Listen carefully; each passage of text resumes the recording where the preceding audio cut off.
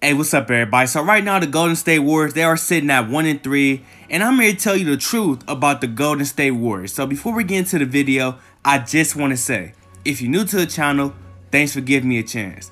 If you like the video and you like the content, make sure you click the subscribe button at the end. I got everything from football and basketball.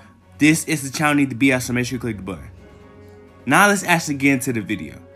So like I said, right now the Golden State Warriors, they 1 and 3, and fans around the league are enjoying it because simply the Golden State Warriors have been dominating basketball for the last 5 years. And I'm not gonna lie, I was one of the people that actually believed that the Golden State Warriors would be fine if they could hold up until the All-Star break, which is when Klay Thompson was originally supposed to make a return. But they were saying that Klay Thompson might even return this season. But back to the point.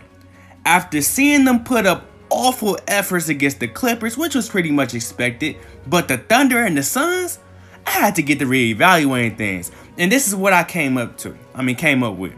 Steph Curry will have to play at an MVP level to keep this team alive. But he just broke his hand. So he's not expected to miss anywhere between one and two months.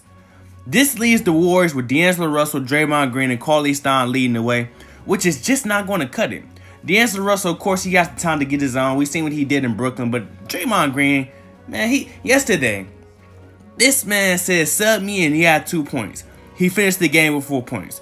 Do you really believe Draymond Green is going to step up that drastically to keep these dudes alive? No, and then Cauley-Stein is just Cauley-Stein, man. You feel me? So even if Steph Curry was healthy, there are still issues that will hold them back. And this is really the harsh truth about the Golden State Warriors. Number one, the defense is truly an issue. The Warriors are really hurting by losing KD, Iguodala, and Shaun Livingston in free agents because they were outstanding starters slash role players that did their job on both sides of the ball. It's just that simple. Then on top of that, they are running a small ball lineup because Cauley-Stein was hurt. Cauley-Stein actually was playing last night, but I think he came off the bench. So Draymond was still starting at the center position. It's just not working out. So it's mandatory that Cauley-Stein starts immediately. Then on top of that, they got D'Angelo Russell running shooting guard. D'Angelo Russell is already a defensive liability at point guard. So when you ask him to guard dudes like um, the Lou Williams when he's in, the the uh, the Donovan Mitchells, the Oladipo, so on and so on. He's not going to be able to check. It is what it is. And even when Klay Thompson returns, he's going to be pushed to the three. You expect him to seriously be able to guard LeBron James, Kawhi Leonard, and let's say D'Angelo Russell stays next season. The KDs, let's be realistic, he's not going to be able to do shit with them. But the Warriors are still missing this defense at the end of the day.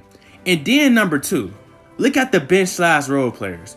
The Warriors bench consists of inconsistent players who lack defense and experience. Let's talk about Omari Spellman. Omari Spellman has looked pathetic, bro. He from Cleveland. I, I respect him for making it out, but he's been looking pathetic, man. He's slow. He's lacking defense. He's not able to score the bucket. He's making scoring difficult. Just looking at that play where he was on a fast break and just did, you know, that y'all, y'all know what's up, man. That was foolishness. You feel me? Then on top of that, outside of Draymond Green, since Steph Curry is gone, the Warriors have a very, very young roster, so mistakes are bound to happen. So with Steph Curry and Klay Thompson now, the Warriors are not going to be able to hold it up. It is what it is, man. But I do feel like the Warriors must fight through the hard times, and when the off season comes, they must sacrifice D'Angelo Russell. Nothing against him, but he's a great asset they can use to get pieces in place to help their roster now and in the future if they want to, you know, take advantage of having Steph Curry and Klay Thompson because they both are getting old. You feel me? So that's the path I expect them to take. Like I said, the philosophy they got right now is just not working with the roster. Everybody knows the Warriors are a high scoring team. They're up tempo. They will shoot you out the game. That's how they win games. The roster they got right now is just not in their favor. They're at a disadvantage and it's being exposed simply as they are losing to the Phoenix Suns. Even though the Phoenix Suns were playing better basketball, it's just no way. So let me know what y'all think in the comment section.